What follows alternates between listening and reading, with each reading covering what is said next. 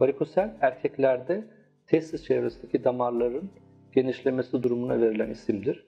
Varikosel erkeklerde infertilite dediğimiz kısırlığa sebep olabilir.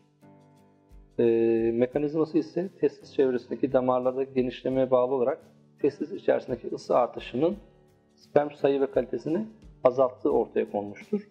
Farklı farklı teoriler olmakla beraber en çok bilinen teori budur.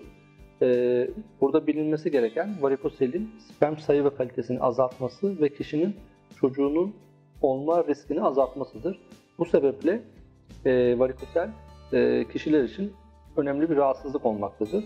Hayati bir risk taşımamaktadır. E, varikosel tespit edildiğinde öncelikle kişiye bir ultrason dediğimiz skrotal doppler ultrason yapılarak hastalığın tanısı ortaya konulur. Daha sonrasında sperm tahlilleri yapılır ve bu sonuca göre de eğer tedavi gerekiyorsa cerrahi olarak bunun ameliyatla düzeltilmesi gerekir. Ameliyat sonrasında da düşmüş olan sperm sayı ve kalitesi artarak kişinin çocuğu olması açısından e, avantajlı bir durum sağlanmış olmaktadır. Varikosel erkeklerde testis çevresindeki toplar damarların genişlemesine bağlı olarak ortaya çıkan bir rahatsızlıktır. Normalde diğer herkesin bacaklarındaki variz gibi damarların genişlemesinin erkeklerde testis çevresindeki damarların genişlemesi durumunda ortaya çıkan bir rahatsızlıktır.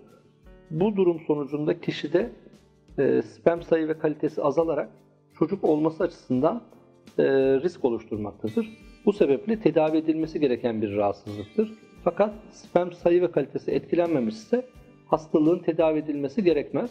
Öncelikli olarak hastalığın var olup olmadığı tespit edilir. Kişiye e, ağrı veya testiste sarkma şikayetiyle başvurduğunda muayenesi yapılır. Muayene sonucunda varikosel tespit edilebilir. E, tanıyı net olarak belirlemek için skrotal doppler ultrason dediğimiz testisteki kan akımını ölçen ultrason testi yapılarak varikosel tanısı netleştirilir. Varikosel tanısı belirlendikten sonra tabii ki direkt ameliyat kararı verilmez. Hastaya sperm testi yapılarak sperm sayısının e, düşük olduğu veya hareketinin, sperm hareketinin düşük olduğu kanıtlanırsa ameliyat kararı verilir.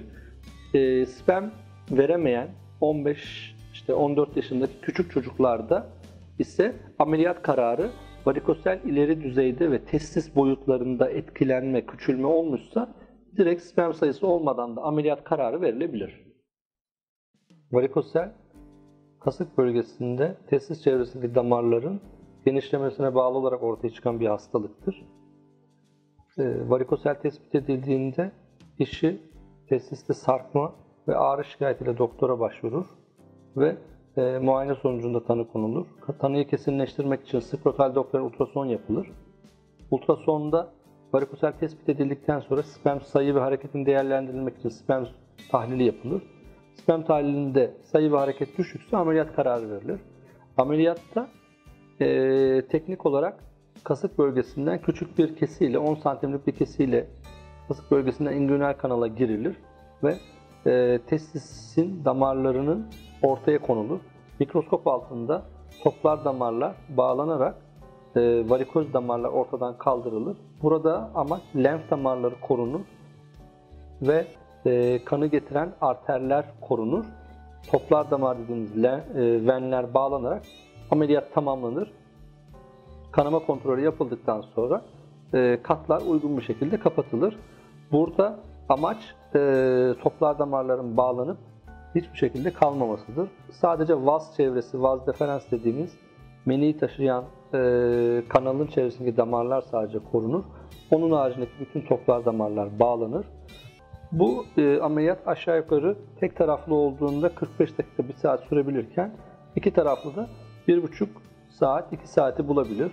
Mikrocerrahi tekniğiyle yapıldığı için çok hassas e, yapılır. Normalde ameliyat bölgesi 8-10 e, derece büyütme ortamında damarlar geniş olarak görülür ve ameliyat hasar vermeden damarları uygun bir şekilde bağlanıp kesilir ve e, varikoz hale gelmiş damarlar ortadan kaldırılarak operasyon uygun bir şekilde tamamlanmış olur. Varikosel, testis çevresindeki damarların genişlemesine bağlı ortaya çıkan bir rahatsızlıktır. Toplar damarlar genişlediği için testiste kişide ağrı ve testiste sarkma oluşabilmektedir. Bu belirtilerle kişi doktora başvurur. Yapılan tetkikler sonucunda ultrason tetkikiyle varikosel tanısı konulur. Sperm tetkiki yapılarak hastanın sperm sayı ve hareketine bakılır. Düşükse ameliyat kararı verilir. Ameliyat e, yapıldıktan sonra kişi hastanede bir gün kalır. Bir gün sonrasında kişi taburcu edilir. Ameliyattan sonra kişinin evinde e, aşağı yukarı 3-4 gün istirahat etmesi önerilir. Ağır işte çalışan, ağır yük kaldırması gereken hastaların 10 güne kadar çalışmaması ve istirahat etmesi önerilir. Ağır yük kaldırma açısından da bir aya yakın ağır e, eşyaları kaldırmamaları önerilir. Ağır spor yapan kişilerin de bir aya kadar spor yapmamaları veya bu işi yapıyorlarsa eğer daha hafif işlerle ancak bir haftadan sonra devam etmeleri, ağır spor yap gerektirecek işlerini ise bir aydan sonra yapmaları tavsiye edilmektedir. Eğer e, bir ay tamamlanmadan erken dönemde zorlayıcı hareketler yaparlarsa kasık bölgesinde fıtık ortaya çıkabilmektedir. Çünkü varikosel ameliyatı yapılan bölge ile fıtığın olduğu bölge aynıdır. Kasık fıtığı bu kişilerde ameliyat sonrası ortaya çıkabilmektedir. Bu sebeple bütün varikosel ameliyatı olan hastalara bir haftaya yakın bir istirahat öneriyoruz. 10-15 ee, gün cinsel ilişkiden uzak durmaları öneriyoruz. Ağır eşya kaldırma, ağır e, güç gerektiren işlerini ise bir aydan sonra yapmalarını öneriyoruz. Varikosel, testis çevresindeki damarların genişlemesine bağlı olarak ortaya çıkan bir rahatsızlıktır. Erkeklerde kısırlığa yol açabilir. Bunu sperm sayı ve hareketini azaltarak e, sebep olabilir. Bu hastalık e, du, tedavisi ancak ameliyatla söz konusudur. Mikrocerrahi varikoselektomi dediğimiz ameliyat tekniğiyle toplar damarlar bağlanılarak bu hastalıktan kişi kurtulabilmektedir. Ameliyata bağlı olarak kişide bazı sıkıntılar sonrasında ortaya çıkabilmektedir. Bunların sebepleri ameliyat tekniklerine bağlı olarak ortaya çıkmaktadır. Özellikle mikroskop kullanılmadan varikosel ameliyatı yapıldığında lenf damarlarının bağlanmasına bağlı olarak testiste hidrosel dediğimiz su toplaması sorunu ameliyattan 1-2 ay sonra ortaya çıkabilmektedir ve bu sorun da ancak ikinci bir ameliyatla tedavi edilebilmektedir.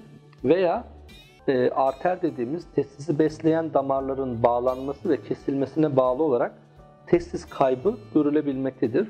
Bu ameliyatlar mikrocerrahi dediğimiz mikroskop yardımıyla yapıldığında damarlar daha net ortaya konmakta ve e, yanlış damarların bağlanması ve kesilmesi e, olayı ortadan kalktığı için bu tür komplikasyonlar çıkmamaktadır.